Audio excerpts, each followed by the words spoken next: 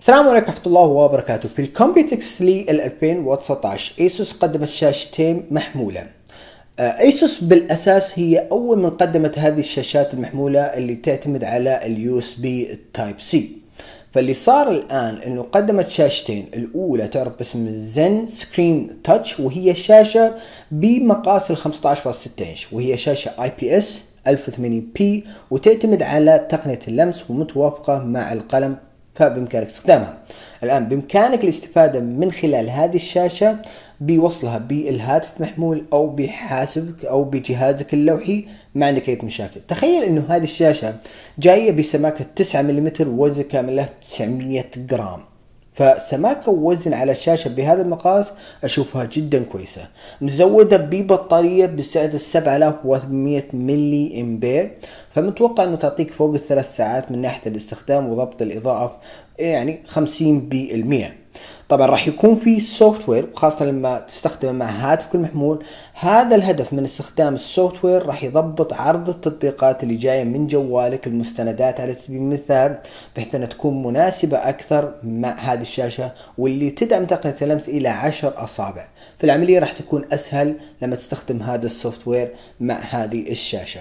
طبعا مثل ما شفنا في هذه الشاشة أو في النسخ السابقة راح نشوف أيضا إنه في حافظة. هذه الحافظة بإمكانك تحويلها إلى مسند لهذه الشاشة الخارجية وهذه الحافظة راح تكون متواجدة مع الشاشة اللي راح نتكلم عنها بعد شوي أو خلينا نتكلم فيها الآن. وهي شاشة مخصصة للألعاب بنفس مفهوم التصميم الموجود في ال ZenScreen Touch تعرف باسم ال ROG Strix XG 17 لا تنساها. لأنه هذه الشاشة مجنونة جدا. هذه الشاشة يا شباب تعتمد على ال 1080 p لكن بمقاس أكبر 17.3 إنش مقارنة ب 15.6 إنش.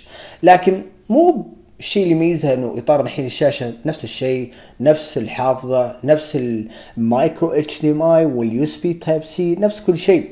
الشيء اللي يميزها إنه هذه الشاشة راح تعطيك 240 هرتز.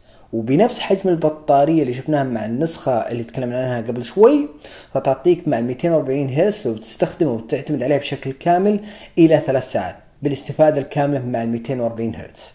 سمعتني صح. لكن 240 هرتز على شاشة محمولة خارجية أشوفه الشيء مجنون. جدا جدا مجنون الصراحة شيء كويس جدا كويس.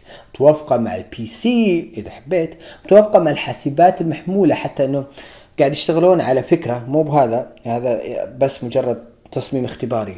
بعدين مع النسخة النهائية إنه هذه الشاشة ممكن تركب فوق شاشة الحاسب المحمول. بدل ما تكون على الجنب فما راح تستفيد منها بشكل كثير فراح تكون ممكن تركبها فوق. فهذه الفكرة اللي قاعد يشتغلون عليها. مو مثل هذا يا شباب. هذا مو هو بالتصميم النهائي. باقي قاعد يشتغلون عليه. فواحد من الأفكار اللي قاعد يشتغلون عليها. متوافقة مع اللابتوب متوافقة مع الهواتف المحمولة متوافقة مع أجهزة الألعاب المنزلية والمحمولة Nintendo Switch PlayStation 4 Xbox هذه الأفكار. فال ZenScreen Touch هذه راح تكون توفر الشهر القادم. ما في معلومات عن السعر ولا عن موعد الإصدار لكلا المنتجين. إلا فقط ZenScreen Touch هي راح تكون متوفرة الشهر القادم في السوق التايواني. وش رأيكم بالفكرة؟ أنا الصراحه عجبني ROG. عجبني مرة.